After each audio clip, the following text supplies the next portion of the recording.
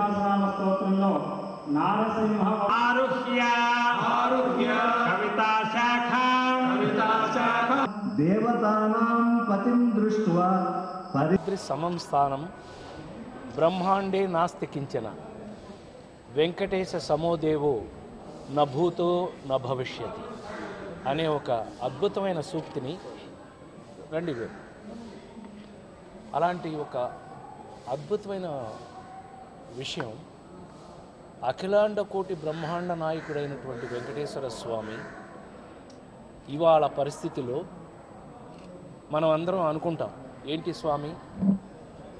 ఈ పరిస్థితి ఇలా వచ్చింది. కరోనా అనే ఒక మహమ్మారి వల్ల ఒక ఊరు కాదు ఒక రాష్ట్రం కాదు ఒక దేశం కాదు మొత్తం ప్రపంచమే విలవిల్లాడిపోయే పరిస్థితి వచ్చినప్పుడు అందరం కూడా స్వామివారిని ప్రార్థించుకుంటూ చాలా రోజుల నుంచి నేను స్వామి దర్శనం కోసం మీలాగే మీ అందరిలాగే నేను కూడా ఎదురు చూసి ఈవేళ స్వామివారి పిలుపు మేరకి దర్శనం చేసుకోవడం జరిగింది. అద్భుతం మహా అద్భుతం. అంతేకాకుండా ఇవాళ నాకు దొరికిన అదృష్టం ఏంటయ్యా అంటే ఎస్విబిసి వారు మన అందరు భక్తుల కోసం అంటే స్వామివారి ఈ ప్రపంచంలోనే అత్యద్భుతమైనటువంటి క్షేత్రమైనటువంటి తిరుపతిలో స్వామివారి టీటీడీ తరఫున ఈ సుందరకాండ అంటే జేఏఓ గారు సోదరుడు ధర్మారెడ్డి చక్కగా ఎక్స్ప్లెయిన్ చేశారు. రాముడు కష్టాల్లో ఉన్నప్పుడు మనకు తెలుసు అవతారాలన్నింటిలో కల్లా ఎక్కువ కష్టాలని అనుభవించింది. అంటే ఒక మనిషి ఎలాంటి కష్టాలు అనుభవించాలో తెలియచేయడం కోసం అవతారం ఎత్తినటువంటి రామావతారంలో స్వామి అనుభవించినటువంటి ఆ కష్టాలన్నిటినీ ఆయన బాధపడుతున్నప్పుడు లక్ష్మణ స్వామి ఏంటన్నయ్య బాధపడుతున్నావు? అని అంటే ఏమీ లేదు. ఈ మనిషికి ఎవరికైనా కష్టం ఉంటే అది కాల్చడానికి అది అగ్ని అగ్ని అగ్నినే కాల్చే అంత కష్టం నాకు వచ్చింది ఇవాళ. అంటే అదేంటి అన్నయ్య అంటే చిన్నప్పుడు ఆటలాడుకుని అన్నీ నేర్చుకుని చేయవలసిన స్థితిలో నన్ను తీసుకెళ్ళి ఆ హోమాలకి వాటికి ఆ రాక్షసులను చంపడానికి వాటికి తీసుకెళ్ళారు. ఆ తర్వాత యుక్త వయసుకు వచ్చి నేను రాజ్యానికి రాజునయ్యే పరిస్థితిలో తండ్రి ఆజ్ఞ మేరకి నేను వనవాసం వెళ్ళిపోవాల్సి వచ్చింది.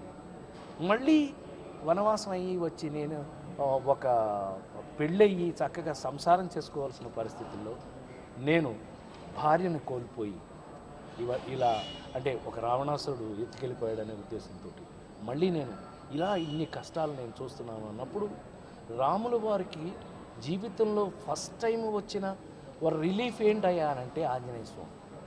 ఆంజనేయ స్వామి ద్వారానే రాముల వారికి రిలీఫ్ వచ్చిందనే విషయాన్ని వాళ్ళు చెప్ప ఇలా ఇంకా మీ మీరు ఎస్విబిస్లో ఇవన్నీ చూసే ఉంటారు.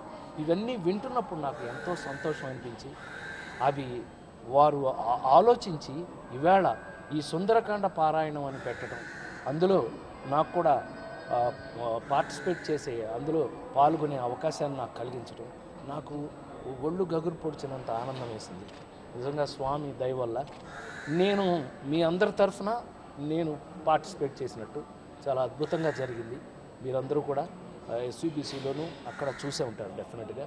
ఇది మన కోసం మాలవాడి కోసం మన యొక్క రిలీఫ్ కోసం నిజంగానే నేను ఆశ్చర్యపోయిన విషయం నేను నమ్మింది చెప్తున్నాను. ఈ పారాయణం మొదలుపెట్టిన వెంటనే దర్శనాలు స్టార్ట్ అయ్యాయి. ఇది మీరందరూ నమ్మాలి. స్వామివారి దర్శనాలు అంతకుముందు మనకి ఇంపాసిబుల్ కదా రాలా రావడం లేదు. కొన్ని నెలలుగా మనం ఏకాంతంగానే స్వామివారు ఇది ఇలా ఇలా ఈ కొండ మీద ఎప్పుడు జరిగి ఉండకపోవచ్చు. ఇన్ని రోజులు స్వామి దర్శనం లేకుండా ఉండకపోవచ్చు. అయినప్పటికీ మనం బాధపడ్డాం సో మళ్ళీ దర్శనాలు మనం ప్రారంభమైనాయి. కారణం డెఫినెట్గా ఈ టీటీడీ వారి వారి యొక్క సంకల్పంతో ఈ ఈ సుంద స- సుందరకాండని మొదలుపెట్టడం అది కారణమేమో అని నేను పరిపూర్తి నేను నమ్ముతున్నాను. డెఫినెట్గా నిజంగా అందుకే మొదలైంది. ఇంకా ఈ కార్యక్రమాన్ని ఇలాగే కొనసాగిస్తున్నారు. ఈ కార్యక్రమం ఇలాగే కొనసాగి అతి త్వరలో వీటికి ఒక మనం మనం పడుతున్న ఇవాళ పడుతున్నటువంటి ప్రపంచవ్యాప్తంగా అందరూ భక్తులు స్వామివారి భక్తులందరూ పడుతున్నటువంటి ఈ కష్టంలోంచి మనం అందరం తప్పకుండా బయటికి వస్తాము. ఈ యొక్క చేస్తున్నటువంటి ఈ కార్యక్రమాలన్నీ కూడా వాటికి దోహదపడతాయి అని మనస్ఫూర్తిగా నమ్ముతున్నాను నేను. అంతేకాకుండా మీ అందరినీ రెండు చేతులు జోడించి నేను కోరుకునేది కూడా ఏంటంటే ప్రభుత్వం వారు కానీ స్వామి ఆశించేది కూడా నేను అనుకోవటం ఏంటంటే మనం మన వంతు జాగ్రత్తలను పాటిస్తూ మనకేమవుతుంది అనే ఆ కేర్లెస్నెస్ని దయచేసి వదిలేసి మనం పెద్దలందరూ నేర్పిని ఇప్పుడు అందరూ మళ్ళీ మళ్ళీ చివరికి వచ్చేటప్పుడు నమస్కారం దగ్గర నుంచి ఆ సంస్కారాలు అన్నిటినీ మనం నేర్చుకుంటూ ఉన్నాం.